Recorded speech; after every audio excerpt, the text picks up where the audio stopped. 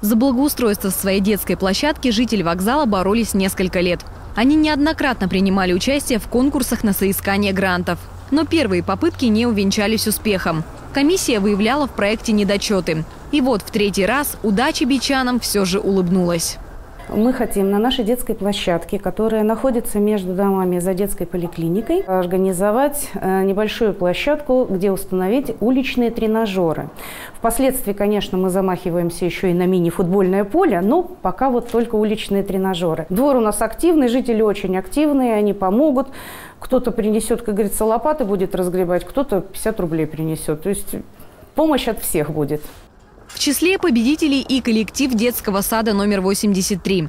Инициативная группа представила проект «Остров спорта в мире детства». Сейчас дошкольное учреждение посещают порядка 300 человек. 60 из них – дети с ограниченными возможностями по здоровью. У нас на территории детского сада есть площадка, место, отведенное под спортивную площадку площадью 160 квадратных метров. Но на площадке у нас есть только стойки под э, сетку и баскетбольное кольцо. Поэтому а, мы и решили поучаствовать в проекте, а, поскольку этого недостаточно для полноценного физического развития. Мы хотим оборудовать спортивным инвентарем нашу спортивную площадку. Вот такие дуги для подлазания – бумы для развития равновесия, спортивный комплекс для старших дошкольников с различными элементами лазания, как вертикальных, так и горизонтальных, элементами скалодрома и канатных спусков, а также лабиринт для развития координационных способностей детей.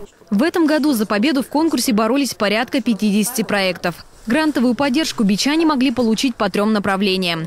Это устройство детских спортивных площадок, дворов, парков, организация цветочных клумб и газонов, а также устройство ограждений, дорожек и малых архитектурных форм. По итогу конкурса в числе победителей 36 проектов. Очень жаль, конечно, что мы не смогли э, обеспечить всех участников полной суммы, которую они рассчитывали и хотели бы.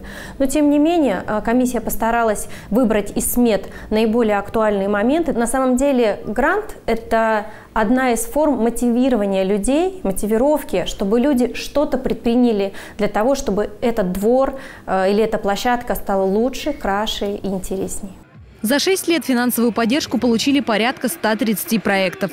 Наш город начал преображаться. В Бийске появились детские и спортивные площадки, футбольные поля, а также благоустроили набережную в поселке Молодежный. На этом бичане не останавливаются и каждый год представляют новые интересные проекты. Кристина Мельхова, Сергей Доровских. Будни.